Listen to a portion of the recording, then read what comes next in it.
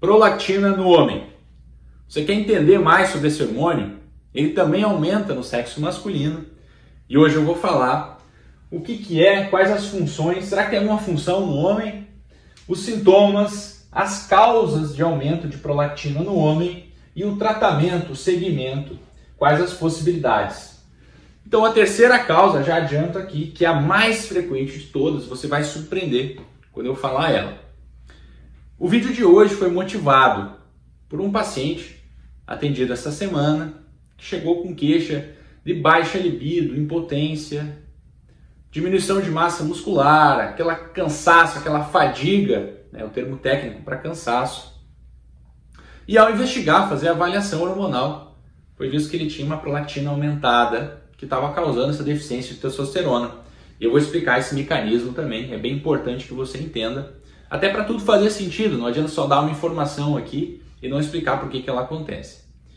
Então, é, antes de tudo, antes de eu começar esse vídeo, se inscreva aqui no meu canal. Isso ajuda o vídeo a ser distribuído também. Já deixa seu like aí para fortalecer e para conseguir divulgar o conteúdo, a informação. Né? Deixar a informação parada também não tem muito sentido. Então vamos lá. A prolactina, o que, que é? A prolactina é um hormônio que ela de maneira natural ela está aumentada durante a amamentação e na fase final da gestação. Tá, mas e no homem? Onde é que ela entra?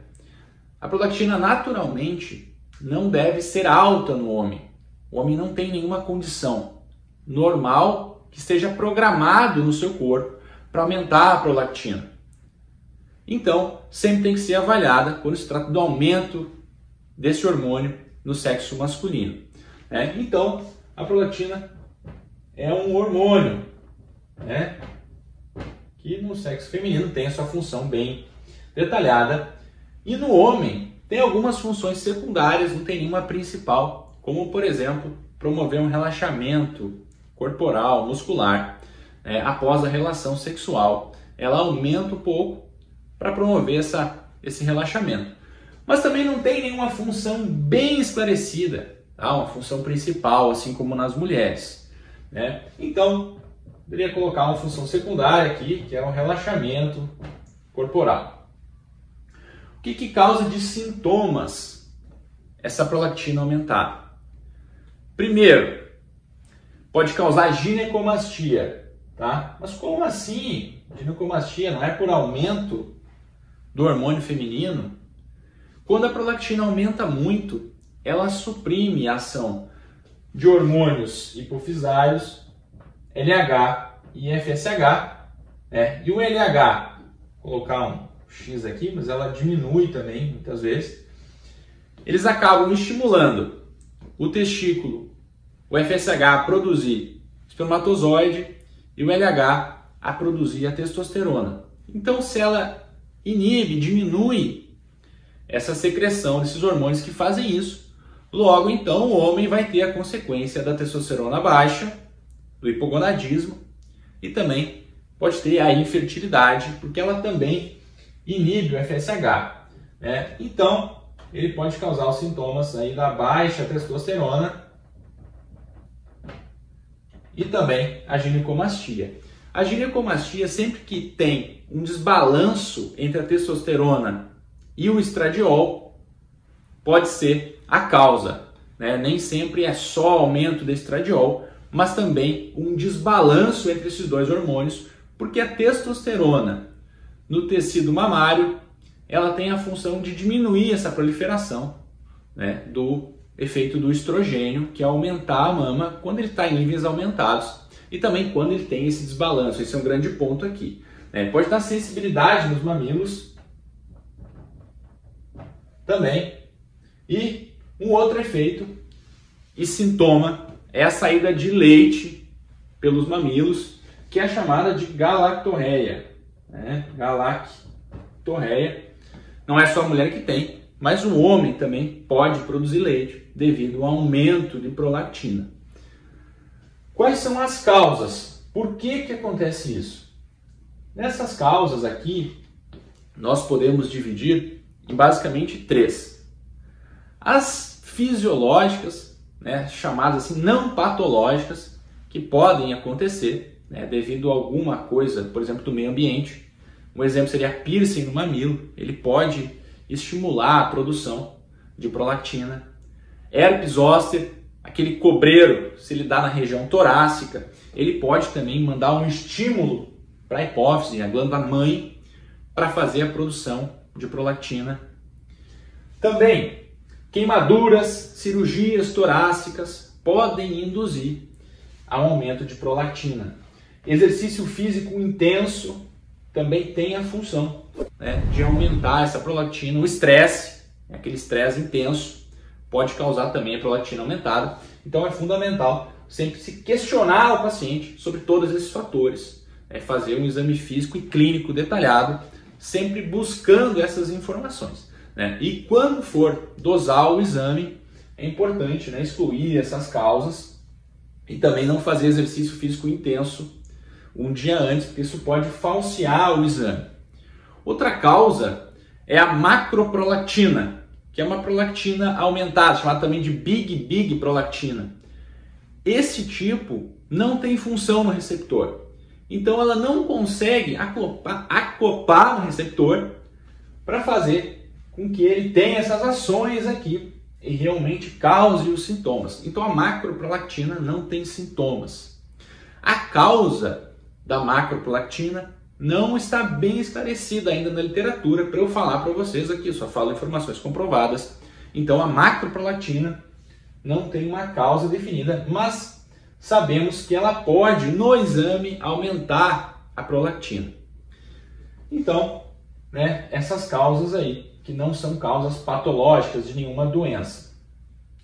O segundo tipo é devido a alterações é, de por tumores, não só o micro e macro prolactinoma, mas também outros tumores podem aumentar a prolactina, como por exemplo até mesmo um meningioma. Por efeito compressivo, ele vai atrapalhar essa regulação da hipófise com o hipotálamo. Como funciona essa regulação? O hipotálamo produz dopamina e a dopamina inibe a liberação e secreção da prolactina. Então, se você tem um desbalanço, vai ter um aumento de prolactina. Tumores hipofisários, como por exemplo o microprolactinoma, são menores que um centímetro. Isso é a proliferação dessas células aí que produzem a prolactina e ele vai aumentar a prolactina.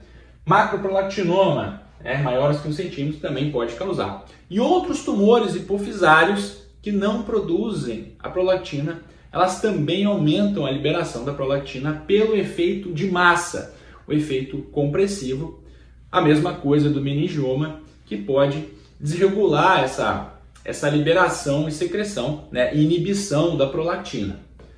A terceira causa aqui, e também a mais frequente, tá, é o uso de medicamentos. É fundamental que o médico procure quais medicamentos que o paciente está usando. Então, por exemplo, aqui, antipsicóticos, como por exemplo a risperidona, pode dar um aumento expressivo da prolactina. Antidepressivos também podem aumentar, que acabam interferindo nessa relação da dopamina. Então, fluoxetina, paroxetina, o citalopram, sertralina, Amitriptilina, os tricíclicos também, não só os inibidores seletivos da recaptação da serotonina, que é o caso da fluoxetina, da cetralina, mas também os tricíclicos, amitriptilina e mipramina, podem causar esse aumento. Medicações para o enjoo também podem causar, né? antieméticos. Por exemplo, a cimetidina também pode causar, que atua no trato gastrointestinal, porque elas também interferem nessa relação aí é, da dopamina. Antipertensivos, verapamil, metildopa, todas essas medicações podem aumentar a prolactina e é fundamental que o médico questione e saiba exatamente as medicações que o paciente faz uso né? e também que fez uso, não necessariamente medicações contínuas, mas também medicações esporádicas para sintomas, como é o caso das medicações para o enjoo, né? para o estômago, por exemplo, também podem aumentar essa prolactina. Né? Então já teve casos do paciente que ele não tinha nenhuma medicação contínua, não tinha nenhuma causa, não tinha nenhuma alteração do sistema nervoso central, mas ele fazia uso esporádico e ele não lembrou de falar. Então, só perguntando diretamente para o paciente. Então, é muito importante, se você for médico, você pergunte diretamente. Se for paciente, que fale de maneira espontânea. Eu fiz uso dessas medicações aqui nos últimos dias, para o médico também saber a respeito disso. Antipertensivo, verapamil, alfa-metildopa, também pode induzir a esse aumento aí de prolactina. Então, são essas as três causas, né, aqueles que nós já comentamos ali, sobre os tumores, sobre as situações cotidianas aí, por exemplo, piercing, mamilo, que podem aumentar, e também sobre medicações. Visto isso, o tratamento. O tratamento vai ser baseado na causa o que está causando esse aumento de prolactina e também que repercussão que ela está causando. Então, por exemplo, se o médico avaliou lá e viu que estava sendo secundária uma medicação, ele pode avaliar esse custo-benefício. Não necessariamente vai ser necessário. Não necessariamente necessário é boa, né? Mas não necessariamente ele vai suspender a medicação. Sempre vai ter que ser avaliado esse custo-benefício. Se for alguma situação identificada que o paciente consiga tirar, como por exemplo aquelas causas ali fisiológicas, né, é, de hiperestimulação do mamilo, isso está resolvido. Né? A macroprolactina também é uma situação que demanda acompanhamento, mas não é necessário um tratamento porque ela não consegue acoplar ali, né? então ela não vai ter sintomas. Se se tratar de um tumor, a maioria dos tumores hipofisários produtores de prolactina, elas são responsivas ao medicamento. É, não vou entrar em detalhes de prescrição aqui, porque isso é restrito né, aos médicos. Todas essas informações vocês encontram em fóruns é, sobre a prolactina. Né, vocês nunca devem seguir, só o médico é capaz né, de determinar essa complicação, essa, essa complexidade aqui né, de todas essas causas com sintomas. Então esse é o mais importante, né? Tem tratamento sim. Se você gostou desse vídeo, Deixa seu like aqui, também compartilhe com alguém que pode estar precisando.